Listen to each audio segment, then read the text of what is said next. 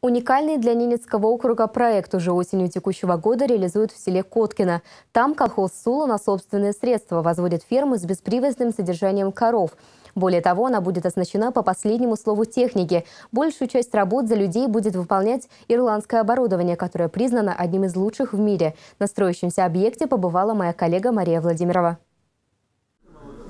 126 метров в длину и 32 в ширину. Именно такой по объемам будет новая ферма в селе Коткино. Сейчас объект возведен под крышу. Для дальнейших работ все необходимые материалы завезены по земнику, в том числе и для пола, который будет с подогревом. По воде доставят еще 5 вагонов цемента. После завершения строительства в новой ферме разместятся 400 коров, 200 голов дойного стада и еще столько же телят. Все они будут содержаться без привязи, а процесс их обслуживания по большей части возьмет на себя техника и автомат автоматика. Э, по бокам, по бокам значит, будут скреперные системы. Здесь скреперная, здесь э, навоз убираться будет.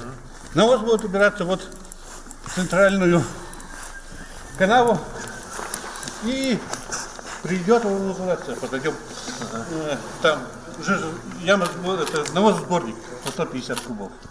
Оттуда будет там носотом законно выкачиваться и возиться на ферму. Отдельное помещение на строящейся ферме отведут под молокосборник объемом 3 тонны. Оттуда молоко по трубам будет поступать на переработку. Эта ферма будет оснащена по последнему слову техники. Следить за тем, пригодно ли молоко к употреблению или нет, будут компьютеры. Кроме того, через компьютеры можно будет отследить и то, готова ли корова к котелу. Вся необходимая информация будет передаваться через интернет, который сюда тоже проведут.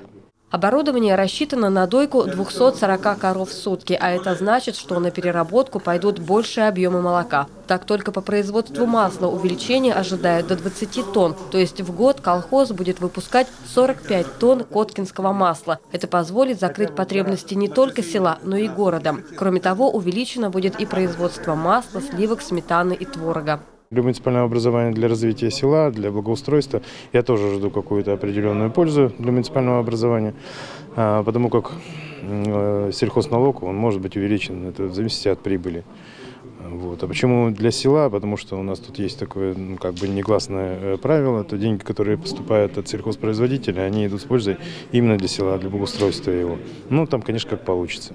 Ферму в Коткино колхоз Сула строит полностью за счет собственных средств. В прошлом году в его реализацию уже вложили 73,5 миллиона. В этом закупкой материала и оборудования еще 42 миллиона. Примерно столько же потребуется на завершение строительства, поэтому цена проекта не перевалит за 200 миллионов. Часть средств на возведение объекта колхоз направляет с окружной субсидии, которая доплачивается за каждый килограмм проданного жителям молока. Это 50 рублей. В масштабах хозяйства из Коткина это это несколько десятков миллионов рублей в год. Как обычно говорят, чтобы что-то начать какое-то дело, нужен первичный капитал. Естественно, если бы не было этих средств, нужно было брать кредиты и за счет кредитов строиться. Но в нашей системе как бы получается, мы одновременно еще и судно строили, и сейчас я рассчитывал, что судно достроим аккурат можно будет строить, строить ферму. Ну, так же примерно и получилось. Работать на новой ферме будет примерно 15 человек из 29, которые трудятся сейчас на ферме и молочном производстве. Но и тем, кто останется, необходимо будет повышать свою квалификацию. Для этого, отмечает председатель колхоза, необходимо проводить реформу профессионального образования в Ненецком округе. Мария Владимирова, Александр Дуркин, телеканал «Север», Коткина.